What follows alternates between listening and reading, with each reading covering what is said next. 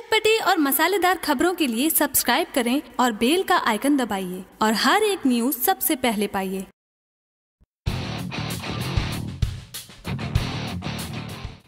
अजय देवगन की हाल ही में रिलीज़ हुई फ़िल्म बादशाह ने बॉक्स ऑफ़िस पर अपना धमाल दिखाना शुरू कर दिया है। जैसा कि इस फ़िल्म के ट्रेड पंडित की उम्मीद जताई जा रही थी कि यह फ़िल्म धमाकेदार कमाई करेगी। इसने पहले दिन भी वैसे ही कमाई की। ट्रेड एक्सपर्ट तरनर आदर्श के अनुसार बादशाह का पहला दिन का आंकड़ा करीब 12 करोड़ रुपए से ज़्यादा रहा। इसी के साथ यह फ़िल्म 2017 के सबसे बड़ी ओपनर की लिस्ट में आठवें नंबर पर हासिल कर लिया है।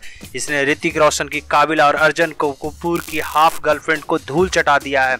इन दोनों फ़िल्मों की पहले दिन की कमाई मात्र 10 करोड़ और 10.27 करोड़ ही रही। अजय देवगन की बादशाह से आगे बद्रीनाथ की दुल्हनिया, जहाँ 12.25 करोड़ रुपए की कमाई की तो टॉयलेट एक प्रेम कथा ने 13.10 करोड़ रुपए की कमाई की।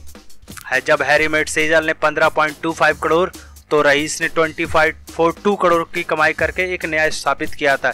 जैसी फ़िल्में हैं। आपको बता दें कि अजय देवगन की बादशाह एक ज़बरदस्त एक्शन थ्रिलर फ़िल्म है, जिसमें दमदार एक्शन के साथ ज़बरदस्त डायलॉग बाजी है। इस फ़िल्म को डायरेक्टर मिलन लुथिया ने बनाया है, जिन्होंने फ़िल्म की कहानी को साल 1975 के कैरेक्टर में सेट किया है। इस फ़िल्म समय भारत में आपातकाल लगा हुआ था। ऐसे समय में अजय देवगन अपनी कुछ साथियों के साथ मिलकर सरकारी ट्रक से सोना चुराने का प्लान बनाते हैं। फ़िल्म में अजय देवगन के साथ साथ इमरान हाशमी, इलानिया ईसा गुप्ता, संजय मिश्रा और विद्युत जमाल जैसे मज़े हुए कलाकार नज़र आ रहे हैं। जैसे इस फ़िल्म की कमाई पहले दिन का है, उस अनुसार ये उम्मीद जताई जा रही है कि फ़िल्म वीकेंड पे करीब 50 करोड़ का कारोबार कर सकती है।